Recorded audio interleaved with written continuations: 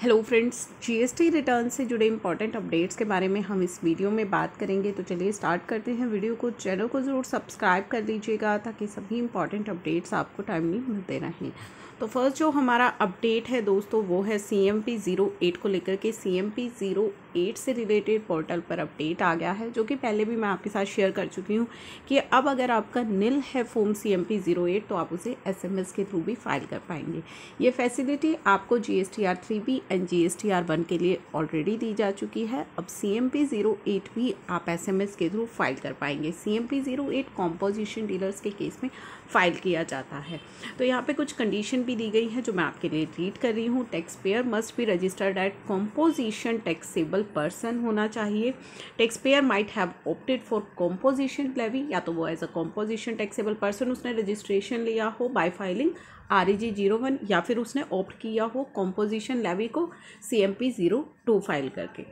Taxpayer must have file all the applicable statement in three C M P zero eight for the previous quarter पहली उसकी pending file हो चुकी हूँ, तभी वो अपनी नील एसएमएस के थ्रू फ़ाइल कर पाएगा। अगर आपकी पिछली कोई पेंडिंग है क्वार्टर की तो आप एसएमएस के थ्रू फ़ाइल नहीं कर पाएँगे। ऑथोराइज सिग्नेटरी का जो फ़ोन नंबर है वो जीएसटी पोर्टल पर रजिस्टर होना चाहिए और आपने अपनी जो रिटर्न है यानी कि पोर्टल पर जो रिटर्न है उसमें पहले से ही कोई डाटा सेव ना किया हो तो त, उस तभी आप जो है अपनी रिटर्न को एसएमएस के थ्रू फ़ाइल कर पाएँगे।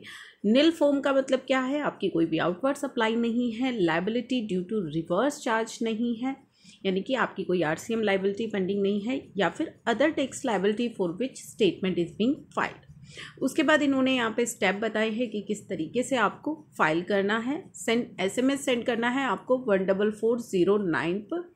To file C M P zero eight nil space return type यानी कि आपकी कौन सी रिटर्न है, जैसे कि आपकी C M P zero eight है। नीचे एग्ज़ाम्पल भी आपको दिया हुआ है। मान लीजिए आप अप्रैल मई जून के लिए अगर एस एम एस सेंड कर रहे हैं तो किस तरीके से आपको करना है? पहले आपको नील टाइप करना है कैप्स में एन आई एल उसके बाद स्पेस देना है। C M P zero eight है तो सी एट आपको टाइप करना है। उसके बाद स्पेस देना है, आपको अपना G S T N number type करना है। उसके बाद आपको स्पेस देना है और फिर आपको रिटर्न पीरियड यानी कि कौन से पीरियड की आप कर रहे हो? अप्रैल मई जून है तो जून यानी कि लास्ट जो मंथ है ज़ीरो सिक्स ट्वेंटी ट्वेंटी तो इस तरीके से आपको एसएमएस सेंड करना है one double four zero nine पर। फिर आपके पास एक वेरिफिकेशन कोड आएगा और उस वेरिफिकेशन कोड को आपको किस तरीके से वेरिफिकेशन कोड जब आपको रिसीव होगा तो कैसे आपको टाइप करना है? सी एन एफ़ स्पेस आपकी सी एट स्पेस और वो वेरिफिकेशन कोड एंटर करना है और सेंड कर देना है। जैसे ही आप वेरिफिकेशन कोड सेंड पैक करेंगे तो आपका ARN नंबर जो है, वो जनरेट हो जाएगा। तो वो चीज़ें यहाँ पे बताई गई हैं कि जीएसटी पोर्टल जो है ARN number to the same mobile number पर आपको सेंड कर देगा। तो इस तरीके से आपको C M P zero eight जो है वो आप एस एम एस के थ्रू भी फ़ाइल कर पाएँगे।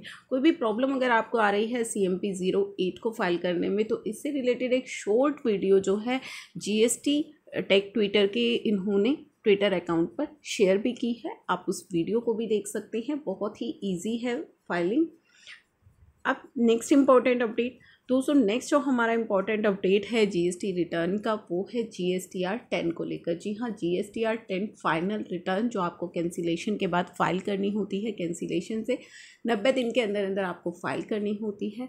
अगर आप फ़ाइल नहीं करते हैं तो लेट फ़ीस का आपको पता था कि एप्लीकेबल होती है, लेकिन अब न्यू जो अपडेट आ गया है पोर्टल पर, दोस्तों अब आपका इंटरेस्ट कैलकुलेशन स्टार्ट हो गई है। जी हाँ पोर्टल आपको ऑटोमेटिकली इंटरेस्ट कैलकुलेट करके दे रहा है जब आप अपनी G S T R ten को फ़ाइल करेंगे। अगर आपने टैक्स पेमेंट ड्यू डेट के बाद की है तो आपका जितना भी इंटरेस्ट बनता है, जो भी सेक्शन फिफ्टी आप पर इंटरेस्ट लगाता है, पोर्टल आपका वो इंटरेस्ट ऑटो कैलकुलेट कर रहा है। और हो सकता है कि जल्दी ही ये चीज़ें G S T R three B पर भी लागू हो जाए। तो आपको बहुत ही सावधानी रखनी है। अब जो आपका इंटरेस्ट है, वो ऑटो कैलकुलेट हो रहा है G S T R ten के केस में। तो आप अपनी फाइलिंग कर लीजिए। G S T R three B में भी जो आपकी इंटरेस्ट कैलकुलेशन होती है, वो मैनुअली ही हम करते हैं, क्योंकि अभी तक पोर्टल हमें इस तरह की कोई भी कैलकुलेशन नहीं देता है। तो अगर जब आप अपनी G S T R three B को फ़ाइल करते हैं लेट पेमेंट पे आपका जो भी इंटरेस्ट होता है, हमें मैनुअली ही कैलकुलेट करना होता है।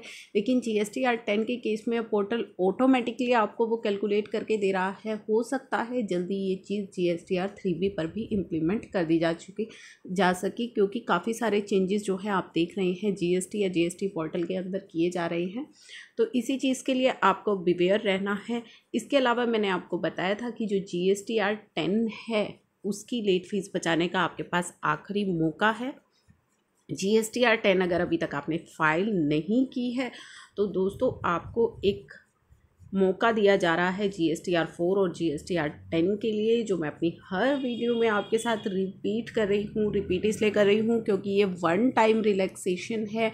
ये वन टाइम रिलैक्सेशन का बेनिफिट आपको उठाना है, क्योंकि जैसे ही ये डेट्स निकल जाएँगी और आप इनका बेनिफिट नहीं ले पाओगे तो मुश्किल ही है कि दोबारा गवर्नमेंट कुछ ऐसे रिलैक्सेशन लेकर के आए।